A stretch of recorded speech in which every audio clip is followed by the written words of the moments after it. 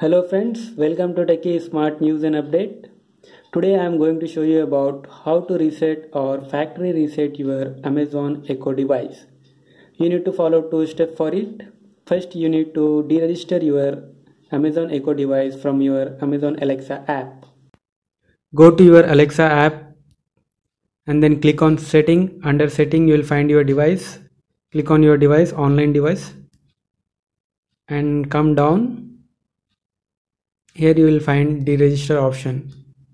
First you need to deregister your device before resetting it or factory resetting it. After deregistering your device press and hold microphone and volume down button both at a time for around 20 seconds until it start blinking in orange color. And now you can remove your hands. So it is blinking in orange color so it will take some time to reset. Now it will blink in blue color.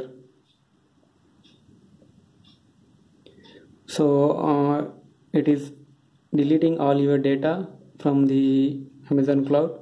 You will lose you will lose your uh, skills and all those things.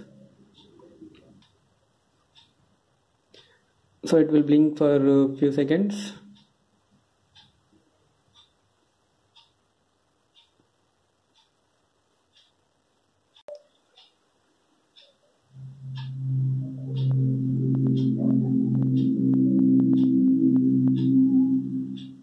Hello. Your Amazon Echo is ready for setup. Just follow the instructions in your Alexa app.